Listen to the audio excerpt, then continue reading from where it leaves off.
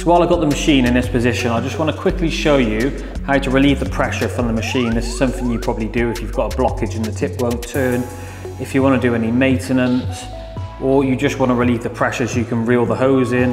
For any reason you want to take the pressure out of this machine, really simple, I'll quickly show you. So as you can see, we've got pressure in the machine there. What we're going to do is turn the dial to zero and make sure uh, that the prime hose is actually being held or is either released in the hopper so it can't just flick out. I'm going to hold it in this instant with my hand. I'm going to slowly release the prime valve down. This is going to relieve all the pressure. You will see the number go down. Simple as that. If you can do some maintenance, I would then go on to turn the machine off. There's no pressure in this now. I can take the filter off if I want to. I can strip the wet end of the machine. I can pull apart the gun. There's no pressure left in the machine. Simple as that.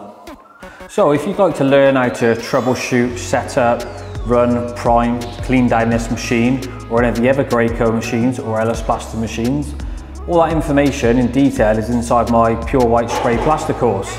Of course, like many, you could just DIY it, go it alone. You could buy a machine and try and figure out on the way, but I guarantee you that you will come into problems and that's going to cost you time and money. Mo the amount of people that have just tried to figure this out, it's not like it's very, very difficult to understand, but you do need to know the method and the procedure in which to work and how to run the machine. The amount of time that you will spend trying to figure it out or spamming the inboxes of people that do know, you might not get the answer you need straight away or even the correct advice. It's just going to lead to more wasted time and wasted money.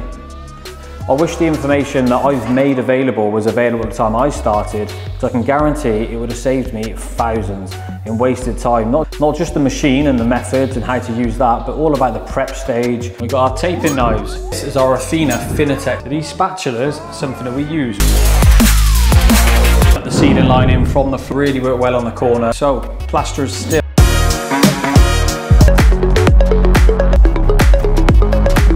our corner roller and I'm going to show you methods and how to use the tools, absolutely everything about it, going all the way up into pricing and social media, lighting, sanding, fans to use. I had to find my way all the way through it and it cost me so much time and money. So the main aim of my course is to get people off the ground running straight away, getting a return on your investment as quickly as possible. You might be thinking, well, I ain't got a machine yet, so I'm not going to invest or start until I get a big job that warrants it. Firstly, these aren't just for big jobs, but that's where they really make their money. You need to learn how to use your machine. You need to get some hours on the gun before you take on the big job. When I got my machine at the very beginning, I started off doing some small domestic rooms. It wasn't ideal, but it was the place where I got to learn a lot. I got to get to know the machine, I got to spread some product and actually get used to it. If I took that onto a big job straight away, I'd have been learning everything I'd been, that I'd found out during that job and I wouldn't have been making much money. I'd have probably looked a bit silly. If I was, when I did it, it was on a nice small domestic property and I did a few of them until I really got confident and I was happy and confident to turn around to a builder or a contractor and say, no problem, I can take on your big project and we'll fly through it. So it was about getting started, it's about getting that information and knowledge, working your way up to getting a machine and get started on your first job as soon as possible, getting the ball rolling.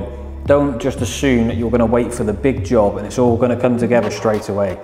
I've tried to make the process as simple and as easy as possible, but there's always going to be a learning curve. There's still time on the gun that you need before you should have the confidence to tell a big contractor you can do their grand design style project because it's not going to happen like that, not straight away. So if you'd like to learn how to set up or troubleshoot this machine, prime it, clean it down, got the Mark V here, the APX there, We've got the Wagner 750 and any other airless spray machine that is popular. We've got a training for it and we go through the whole procedure as well as troubleshooting and everything you need to know about the machine. Of course, you could ignore all that and you could just get started by yourself like many do and try and figure it out by yourself. But that's going to cost you time and money and definitely will bring you to a stop at some point. You'll be left with having to spam the inboxes of the people that do know. Hopefully they reply, hopefully it's the correct information and it's within the same time frame that you needed to get going again. Of course, I understand because I started without the information and knowledge, but that's because it wasn't available. And that's why I've put this course together to get people to get off the ground running straight away and get a return on their investment much quicker. So if you're interested in earning more money inside plastering, but more importantly, making the job easier for you, less aches and pains, this is so much simpler. When we do this job, we barely break sweat. I'm still full of energy when I get home. If there's something you'd like to learn more about or actually get involved with, then click the link in the description and find out exactly how we do this. On much more meterage than I would with my skin. It's a lot easier on my body as well. Do you know what I mean? We've just sprayed three ceilings. I'm not feeling in my shoulder like I would hand applying it by trowel.